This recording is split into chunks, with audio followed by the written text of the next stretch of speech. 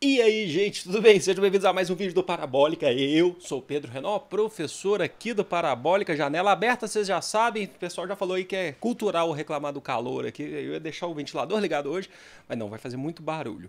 Ajeitar o microfone também é cultural aqui no canal. Esse vídeo é para você que vai tentar especificamente o prova segunda etapa Unesp, agora esse fim de semana, não é? Essa segunda etapa, mas ele serve para vários outros vestibulares. Como eu fiz um vídeo falando sobre as características do vestibular FUVEST, agora eu faço um Unesp. Mas eu quero que vocês entendam o seguinte, não dá para fazer todos os vestibulares do mundo, mas eu peguei uma base, algo que seja comum a todos os vestibulares.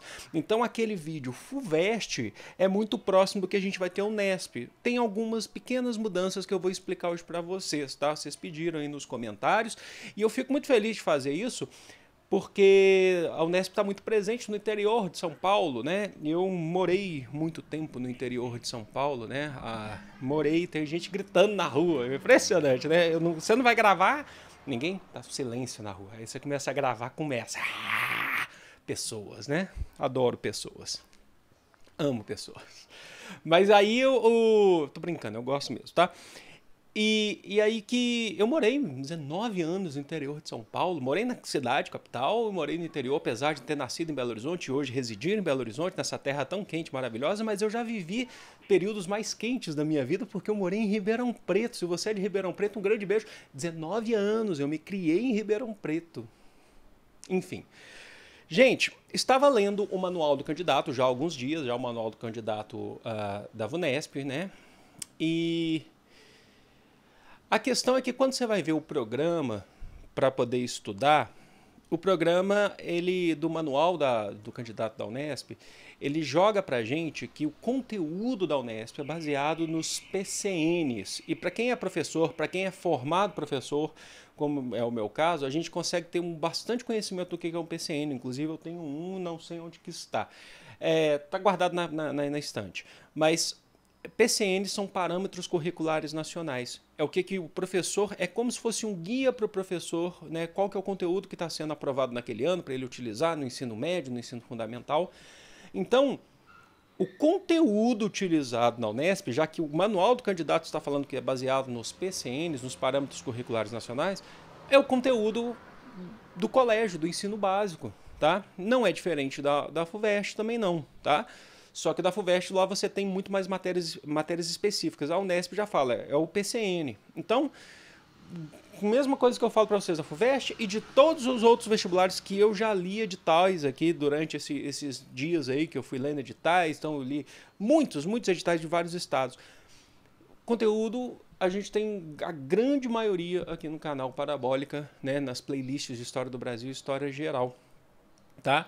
Agora, e vale para todos os vestibulares o que eu falei, aqueles três grandes passos para você poder interpretar e fazer uma prova de segunda etapa, FUVEST, porque é uma base comum, tá?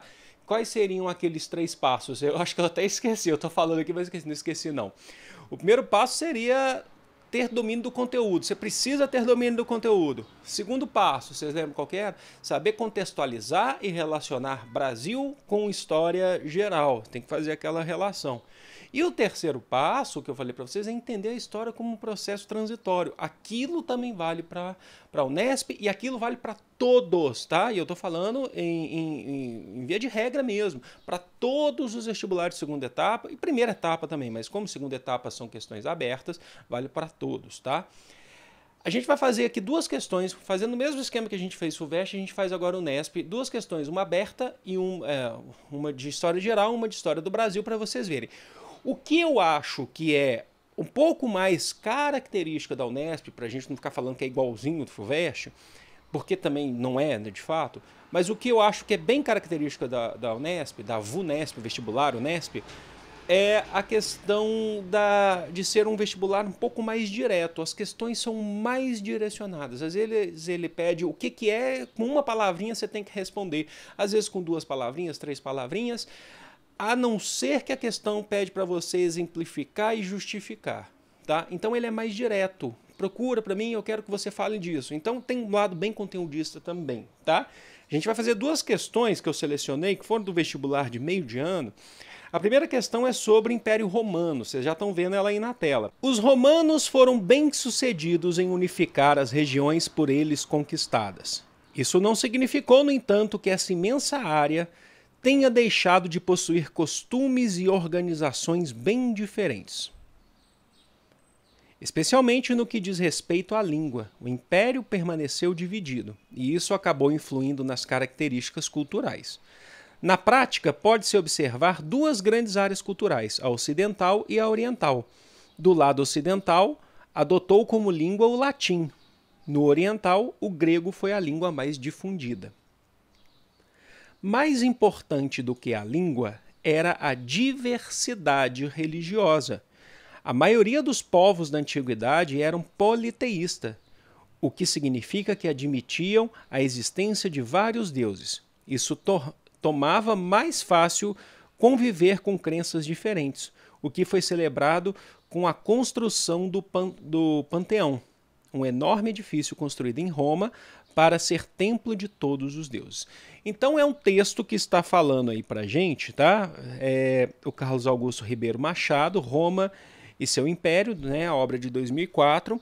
O texto está falando para gente que que então o império foi bem sucedido em unificar, apesar de se manter uma diversidade, uma diversidade cultural uh, uh, do, durante sua extensão, principalmente no que diz respeito à língua. Do lado oriental, né, se falava muito latim, do lado ocidental, latim, né? Do lado oriental, do ocidental se falava latim, do lado oriental utilizou-se o grego, porque foi quando os, os romanos foram lá conquistar a região, a península uh, da Grécia, né? Uh, e aí o que, que acontece? E depois fala da religião pra gente, falando que a religião foi, a maior, maior parte do tempo foi politeísta, né, vários deuses, o que ajudou a, a ter um certo respeito por vários deuses aí pagãos. Vamos lá então para as questões, para vocês verem. Estão sempre em duas, tá? É sempre assim. Cite dois fatores que justificam a afirmação do texto de que Olha só, abre aspas, os romanos foram bem-sucedidos em unificar as regiões por eles conquistadas. Aí é questão de vocês, eu tenho a aula aqui sobre Roma, mas assim, é questão de vocês tentarem lembrar. O que, que vocês forem lembrando para identificar o porquê que eles foram bem-sucedidos. Lembrando que Roma é dividido entre monarquia, república e império, sendo que a maior parte de sua expansão territorial vem durante a república.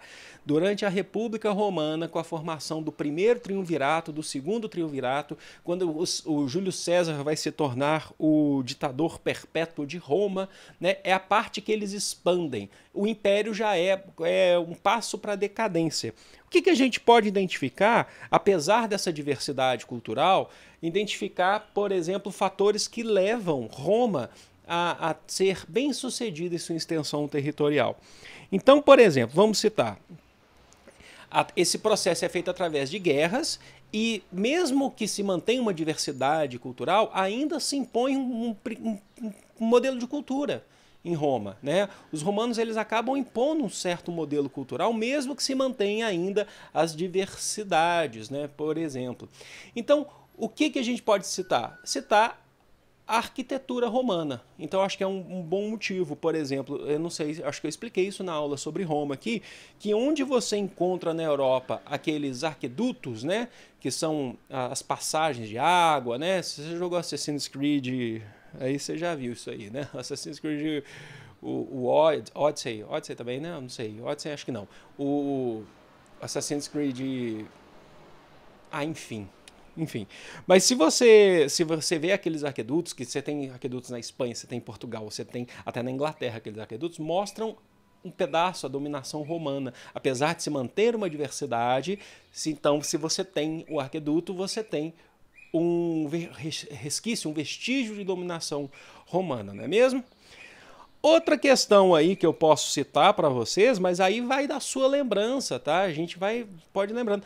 É a questão também da ainda na cultura sobre a questão dos coliseus, né, de transformar a, aqueles que se rebelam em escravos e viram, entram na política do põe circo lá da frente depois para poder lutar. E esses coliseus, o coliseu não era só localizado em Roma, talvez o principal seja em Roma, mas você tinha espalhados por várias cidades, onde você tinha sempre esses, esses espetáculos públicos, né?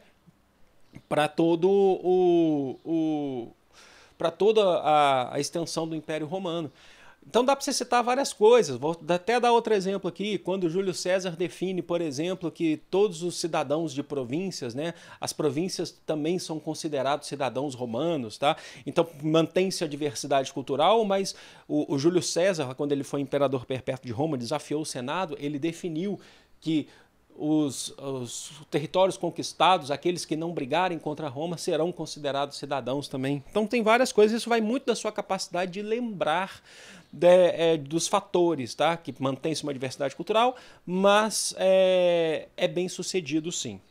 E vamos então para a questão B. Deixa eu ver quanto tempo eu tenho ali, ó. A questão B diz o seguinte: é possível afirmar que a tolerância à diversidade religiosa no Império Romano era limitada? Explique e exemplifique. É, é, quando você tem uma tolerância mesmo, 100%, quer dizer que você permite tudo, você não vai criticar, você, você permite tudo religiosamente. Em Roma não era assim. Apesar deles serem, é, como o texto diz, grande parte do tempo, ah, é, politeístas, vale lembrar o surgimento que a gente tem, falando sobre Roma aqui, o surgimento do cristianismo, onde os cristãos que não eram politeístas, os cristãos que eram é, monoteístas começaram a ser perseguidos no Império Romano. E como eu já falei dos coliseus, o parte dos coliseus aí, dos espetáculos públicos que se faziam, inicialmente os cristãos eram jogados para lutarem com leões, para serem devorados por leões, espetáculo público para o povo romano assistir.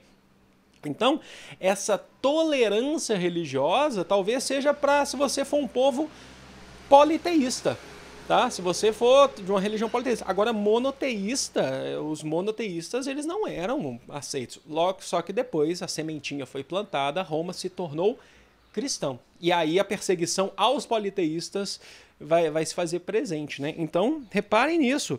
A própria história bíblica aí de Jesus mostra isso pra gente, tá? E eu não estou aqui fazendo nenhum discurso religioso, tá? Eu tô falando no conceito da história, da ciência, que essa é a minha ideia, tá bom? Vamos para a segunda questão, que eu falei para vocês que é bem direta, né? Que a Unesp tem esse lado bem direto e é o que eu quero mostrar para vocês. As causas da guerra contra o Paraguai estão na própria dinâmica da construção dos estados nacionais na região do Rio da Prata.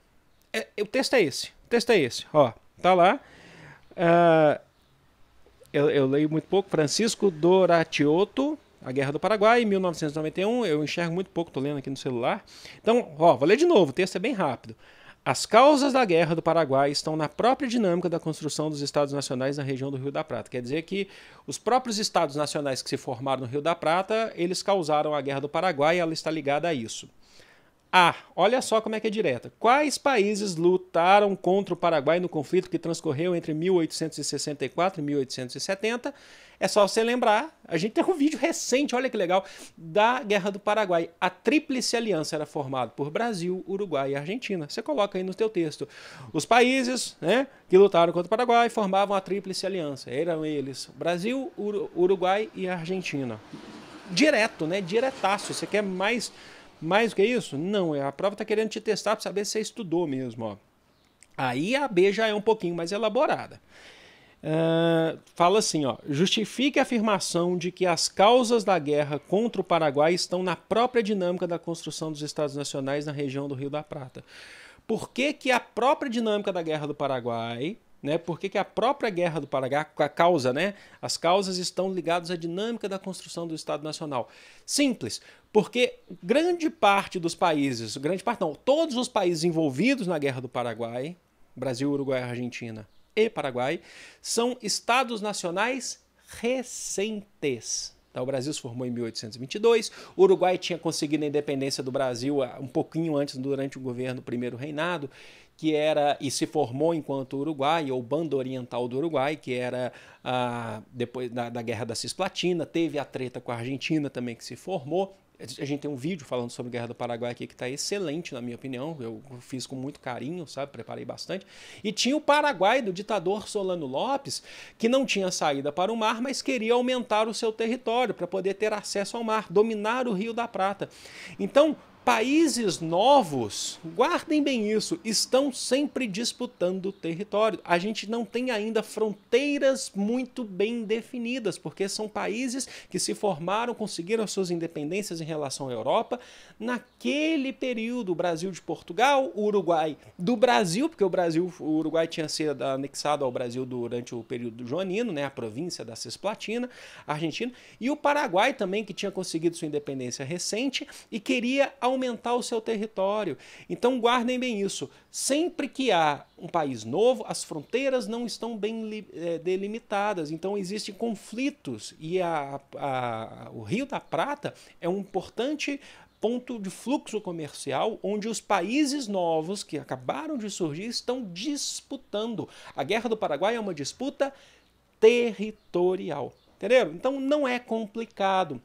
A prova Unesp e outros vários vestibulares pedem da gente um conteúdo muito importante, mas a Unesp ela é bem direta nesse sentido. Pede para você citar os exemplos e vai lá e explica. Só que nessa segunda agora que eu falei para vocês, que é a B, que é a do, do Paraguai, ela está pedindo um pouco mais elaborado. Assim como a questão de Roma, ela está pedindo para você buscar lá na tua cabeça, na tua cachola, no teu, no teu, nos teus estudos, como que foi esse processo, né? De por que, que é bem sucedido, por exemplo, a dominação romana. Entendem? Então é, são provas que exigem bastante da gente, só que eu acho muito legal, sabe? Eu gosto muito porque você vai lembrando do conteúdo, sabe? Você começa a lembrar. Não é fácil? Lógico que não é fácil, mas eu tenho certeza que se você chegou na segunda etapa, é porque você já estudou pra caramba, porque os vestibulares não são fáceis, né? Então fica aí a dica aí, fica aí um pouquinho do, do que, que é essa prova da Unesp aqui. Certo, gente?